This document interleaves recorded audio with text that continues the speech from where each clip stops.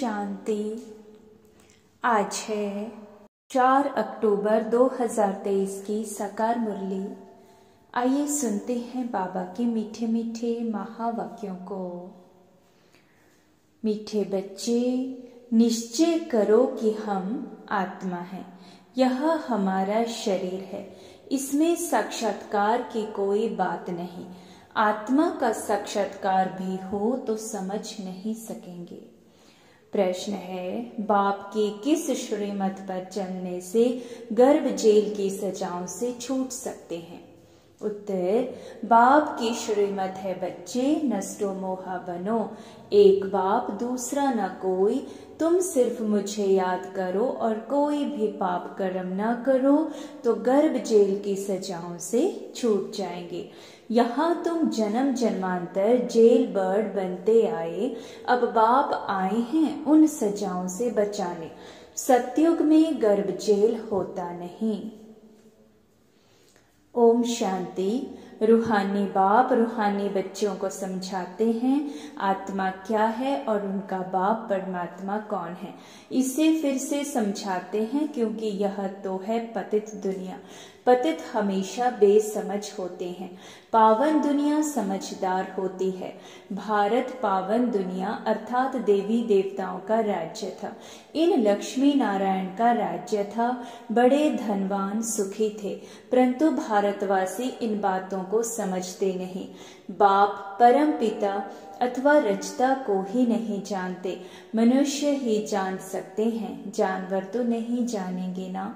याद भी करते हैं, हे परम पिता परमात्मा, वह पारलौकिक फादर है।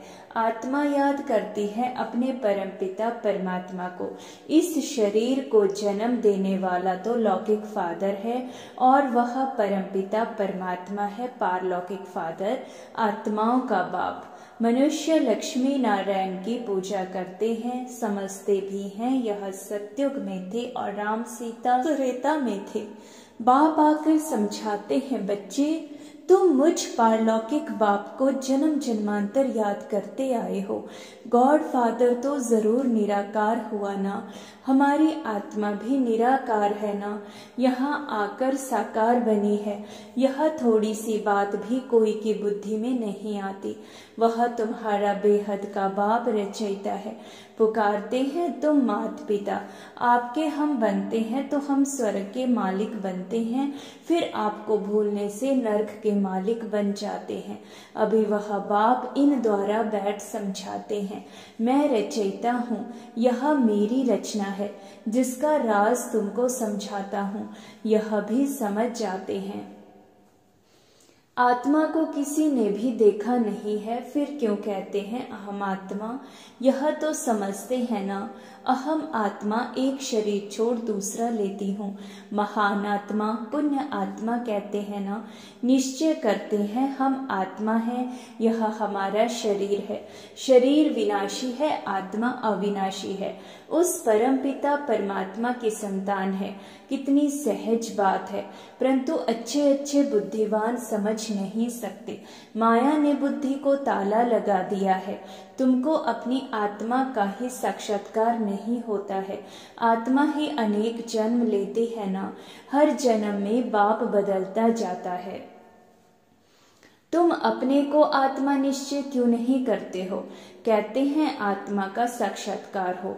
अरे, इतने जन्म कोई को बोला था। क्या कि आत्मा का साक्षात्कार हो?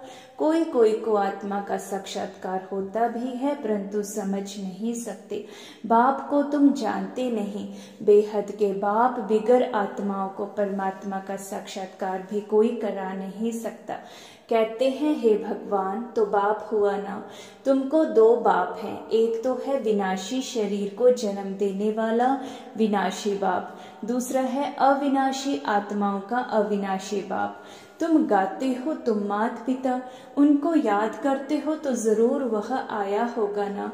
जगत अम्बा और जगत पिता बैठे हैं। राजयोग सीख रहे हैं। वैकुंठ में लक्ष्मी नारायण का राज्य था। वह भी भारत में ही थे ना। मनुष्य समझते हैं, ऊपर कहाँ स्वर्ग होगा। अरे लक्ष्मी नारायण का यहाँ यादगार है। ज़रूर यहाँ ही राज्य किया होगा। यह देलवाड़ा मंदिर तुम्हारा अभी का यादगार बना हुआ है। तुम राजयोगी हो अधर कुमार कुमार कुमारियाँ सब यहाँ बैठे हो। उनका यादगार फिर भक्ति में बनता है। देलवाड़ा नाम का भी कोई अर्थ होगा ना? दिल लेने वाला कौन है?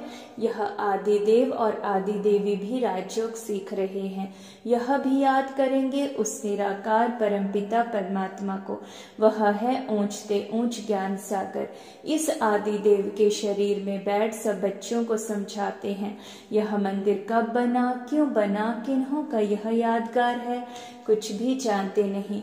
देवियों आदि के कितने नाम लेते हैं? काली, दुर्गा, अन्नपूर्णा। अब सारे विश्व की अन्नपूर्णा कौन होगी? कौन सी देवियाँ अन्न की पूर्ति करती हैं, तुम जानते हो? भारत स्वर्ग था, वहाँ तो अथाह वैभव रहते हैं। जबकि अभी ही अस्सी नब्बे वर्ष पहले दस बारह आने मण अनाज मिलता था तो उससे पहले कितनी सप्लाई होगी? सत्युग में तो अनाज आदि बहुत सस्ता अच्छा होता है, परंतु यह भी कोई समझते नहीं। बाप आकर तुम आत्माओं को पढ़ाते हैं, आत्मा इन कर्मेंद्रियों से सुनती है। आत्मा को यह आँखें मिली हैं देखने के लिए, कान मिले हैं सुनने के लिए। बाप कहते हैं, मैं निराकार भी इस शरीर का आधार लेता हूँ। मुझे सदैव शिव ही कहते हैं। मनुष्यों ने बहुत नाम रखे हैं। रुद्र, शिव, सोमनाथ, परंतु मेरा एक ही नाम शिव है। शिवाय नमः। भक्त भगवान को याद करते आए हैं। उनको 2500 वर्ष हुए हैं। भक्ति मार्ग में पहले अव्यभिचारी भक्ति थी। अभी तो तुमने ठीक कर भीतर में डाल दिया है। अभी इस भक्ति का अंत है। सबको वापस ले जाने मैं आया हूँ।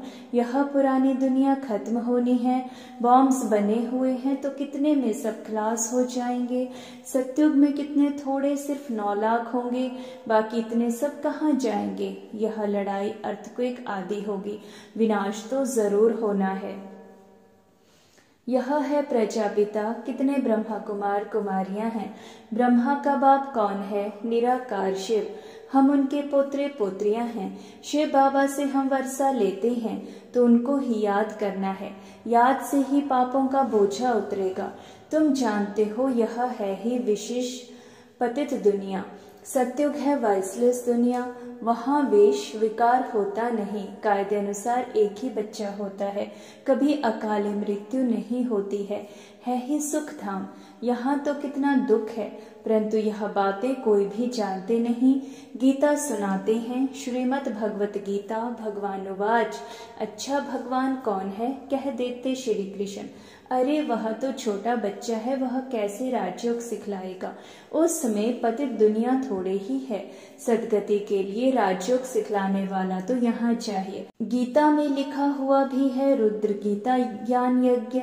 श्री कृष्ण गीता ज्ञान यज्ञ तो है नहीं। यह ज्ञान यज्ञ कितने वर्षों से चलता आ रहा है, इनकी समाप्ति कब होगी? जब सारी सृष्टि इसमें स्वाहा होगी। यज्ञ जब समाप्त होता है तो उसमें सबको स्वाहा करते हैं ना, यह यज्ञ भी अंत तक चलता रहेगा। यह पुरानी दुनिया खत्म होने वाली है। बाप कहते हैं, मैं कालों का काल हूँ, सबको लेने लिए आया हूँ। तुमको पढ़ा रहा हूँ कि तुम स्वर्ग के मालिक बनो। तुम जानते हो इसमें सभी मनुष्य मात्र हैं। सदा दुर्भाग्यशाली, सत्युग में थे सदा सौभाग्यशाली। यह फ़र्क सबको समझाना है। यहाँ आते हैं तो अच्छी रीति समझते हैं, फिर घर जाते हैं तो सब खलास हो जाता। जैसे गर्भ जेल में वायदा कर आते हैं, हम पाप नहीं करेंगे। बाहर निकलते हैं तो फिर पाप करने लग पड़ते हैं। जेल बर्ड होते हैं ना? इसमें जो भी मनुष्य मात्र हैं, सब जेल बर्ड हैं। घड़ी घड़ी गर्भ जेल में जाकर सजाएँ खाते हैं। बाप कहते हैं, अभी तुमको गर्भ जेल बर्ड बनने से छुड़ाते हैं। सत्युग में गर्भ को जेल नहीं कहेंगे। तुमको इन सजाओं से बचाने आया हूँ। अब मुझे याद करो, कोई भी पाप नहीं करो, नष्टो मोहा बनो। गाते हैं मेरा तो एक दूसरा न कोई। यह कोई श्री कृष्ण की बात नहीं है। श्री कृष्ण तो चौरासी जन्म ले अब आकर ब्रह्मा बना है, फिर वही श्री कृष्ण बनना है। इसलिए इस शरीर में ही प्रवेश किया है। यह बना बनाया ड्रामा है। अभी भगवान यह सूर्यवंशी, चंद्रवंशी राजधानी स्थापन कर रहे हैं। तुम्हारी भविष्य के लिए प्रालब्ध बनाते हैं। अभी तुम पुरुषार्थ कर अनेक जन्मों की प्रालब्ध बना रहे हो, बेहद के बाप द्वारा। जो बाप स्वर का रचयिता है, यह बातें समझने की हैं। ड्रामा में हर एक एक्टर का अपना अपना पार्ट है। इसमें हम क्यों रोए पीटे? हम जीते जी उस एक बाप को याद करते हैं। इस शरीर की भी हमको परवाह नहीं है। यह पुराना शरीर छूटे और हम बाबा के पास जाएँ। इसमें तुम भारत की कितनी सेवा करते हो? तुम्हारे ही नाम गाए हुए हैं अन्नपूर्णा, दुर्गा, काली, आदि आदि। बाकी काली कोई ऐसी भयानक शक्ल वाली व वा गणेश सूंड वाला थोड़े ही होता है। मनुष्य तो मनुष्य ही होते हैं। अब बाप समझाते हैं, मैं तुम बच्चों को इन लक्ष्मी नारायण जैसा बना रहा हूँ।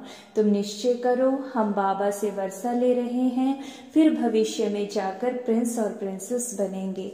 बाप जो स्वर का रचयिता है, उनको कोई भी नहीं जानते। जगदम्बा को भी भूल गए हैं। जिसका मंदिर बना हुआ है, अभी वह चैतन्य में बैठे हैं। कलयुग के बाद फिर सत्युग होना है। विनाश के लिए मनुष्य पूछते हैं। अरे, पहले तुम पढ़कर होशियार तो हो जाओ। महाभारत लड़ाई तो बरोबर हुई थी, जिसके बाद ही स्वर्ग के द्वार खुले थे। तो अब इन माताओं द्वारा स्वर्ग के द्वार खुल रहे हैं। वंदे मातरम गाते हैं ना। पावन की ही वंदना की जाती है। माताएँ दो प्रकार की हैं। एक है जिस्मानी सोशल वर्कर, दूसरी है रूहानी सोशल वर्कर। तुम्हारी है यह रूहानी यात्रा। तुम जानते हो हम यह शरीर छोड़ वापस जाने वाले हैं। भगवान वाच, मन मना भव, मुझ अपने बाप को याद करो। श्री कृष्ण बच्चा तो ऐसे नहीं कहेंगे ना। उनको तो अपना बाप है। मन मना भाव का अर्थ कोई भी नहीं जानते। यह तो बाप कहते हैं, मुझे याद करो तो विक्रम विनाश होंगे और उड़ने के पंख मिल जाएँगे। अभी तुम पत्थर बुद्धि से पारस बुद्धि बनते हो।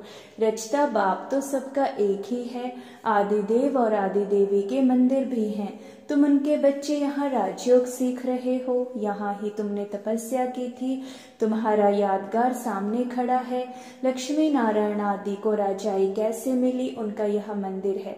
तुम हो राज ऋषि। राजाई प्राप्त करने व भारत का फिर से राज्य भाग्य पाने के लिए तुम पुरुषार्थ कर रहे हो। तुम भारत में स्वर्ग की राजाई स्थापन करते हो अपने तन मन धन से सेवा करके। बाप की श्रीमत द्वारा तुम पतित रावण राज्य से सबको लिबरेट करते हो। बाप है लिबरेटर, दुख हरता, सुख करता। तुम्हारे दुख हरने के लिए पुरानी दुनिया का विनाश कराते हैं। तुमको दुश्मन पर विजय पहनाते हैं। तुम तो माया जीत जगत जीत बनेंगे। तुम कल्प कल्प राज्य लेते हो और फिर गवाते हो।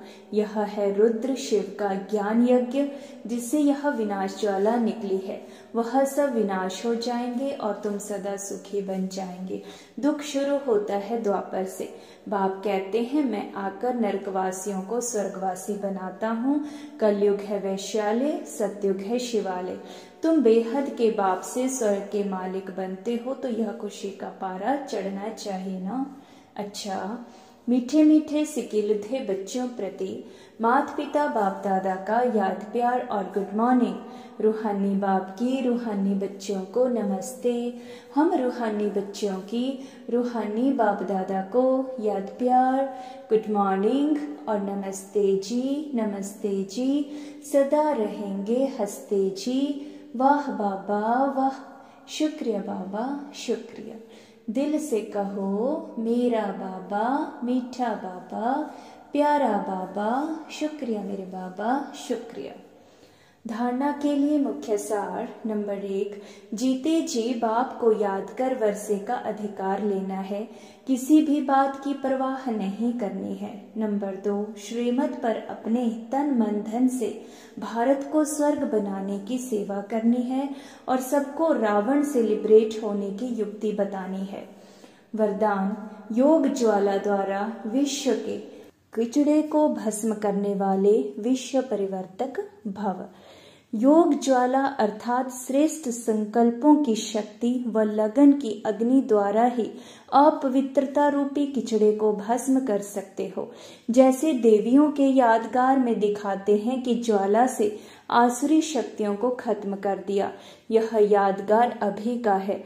तो पहले ज्वाला रूप बन, आसुरी संस्कार, स्वभाव सब कुछ भस्म कर, संपूर्ण पावन बनो। तब योग और पवित्रता की ज्वाला से विश्व के किचड़े को भस्म कर विश्व परिवर्तन के निमित्त बनेंगे।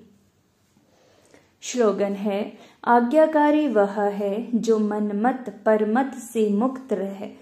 सदा श्रीमत पर चलता है। आज्ञाकारी वह है जो मनमत, परमत से मुक्त रह सदा श्रीमत पर चलता है। शुक्रिया बाबा, शुक्रिया। ओम शांति।